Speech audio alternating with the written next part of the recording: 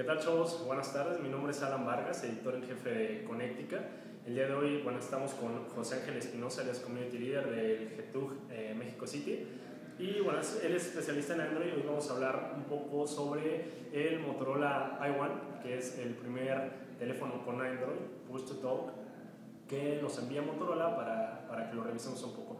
Y bueno, es de destacar que va a estar con Excel. Así que bueno, Ángel, hablemos un poco sobre sus especificaciones y cuáles son eh, sus características principales del teléfono. Pues mira, este, para empezar, podemos ver que, que viene con su caja muy bonita. Aquí tenemos nuestro teléfono. Tiene un form factor interesante.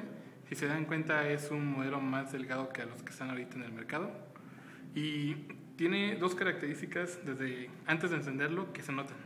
Primero, tiene estas orillas como este tipo de hule interesante que al detenerlo en la mano se siente mucho más cómodo y estás casi, bueno, estás totalmente seguro que no se te resbala.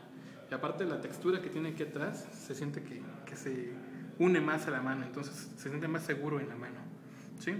Aparte, bueno, como todos los, los teléfonos actuales, viene con todos sus, sus gadgets, sus cables. Por ejemplo, podemos ver el clásico cargador de, de auto, manos libres. Este, este cable es especial. Este, esta parte va hacia, el, hacia la toma de corriente y tiene un USB. Este cable se conecta a este USB y bueno, y de esta misma manera pueden ver que este USB se puede conectar a su computadora y tiene la ventaja de poder cargarlo inclusive con tu computadora. Entonces es algo muy interesante que está saliendo ahorita en todos los teléfonos Motorola que traen Android. Este teléfono, eh, desde el punto de vista de características, ya lo hemos preencendido.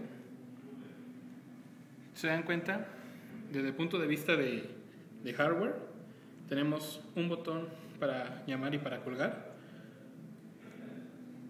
Aparte de todo el touchscreen, además tenemos aquí el botón de push to talk, necesario para la red de Nextel, botones para volumen.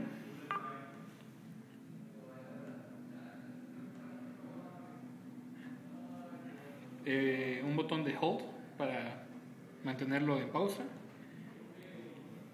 el botón de la cámara, que cabe destacar que es una cámara bastante buena. Una cámara de 5 megapíxeles, toma fotos muy interesantes y, por ejemplo,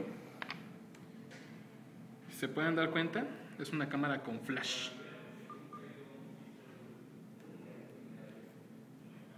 Aparte tiene más características.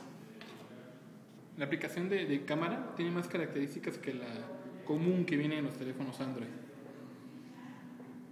Desde el punto de vista de hardware, tiene un procesador de 500 MHz que lo hace bastante rápido. Es bastante fluido la interacción. Inclusive un poco más que el Dex. pueden ver. Vamos a hacer una prueba, por ejemplo, vamos a abrir un juego.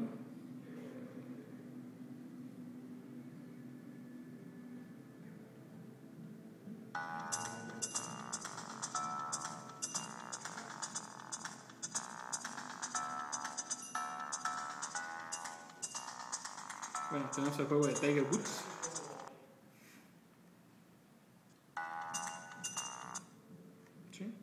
Tiene una memoria de 256 y una ROM de 512 y soporta memorias de hasta 32 GB. Es un teléfono bastante padre, bastante cómodo para traer en las bolsas y bastante ligero. Inclusive podemos verlo aquí al lado tenemos un Motorola Dext. ¿Sí? Si los comparamos un poco con el tamaño, podemos ver que Motorola Dex tiene, no sé si se logra ver bien, es un poquito más grueso que el i1. ¿Sí? El tamaño de pantallas es prácticamente el mismo, aunque ese nuevo teléfono tiene una característica. Perdón. Tiene la característica de que es un poco más brillante. Este, pues a mí se me hace un teléfono bastante rápido. Creo que este nos ofrece bastantes. Eh, es muchísimo más rápido. sobre todo es la característica que más me llamó la atención, que es más rápido. Sobre todo la, la pantalla es un poco más, más sensible al tacto eh, que a comparación con el Dex, que se me, ha hecho, se me hace un poquito más. Este, un poco más, más dura al momento, aparte de que no tiene puntos muertos la pantalla. Entonces puedes hacerlo en, cualquier parte donde tú, tú este, presiones la pantalla, va a tener una reacción. Entonces es la gran diferencia frente al Dex, que no tiene, este, no tiene puntos muertos también. El sonido es bastante bueno también. Entonces, eh, nuevamente les recomendamos que si les interesa lo pueden encontrar con su distribuidor eh, más cercano Nextel. Y bueno, también está en pendiente Connectica, cualquier actualización eh, sobre el tema lo pueden lo pueden ver directamente en el blog o enviarnos un, dejarnos un comentario en la entrada o bien un tweet a arroba conectica.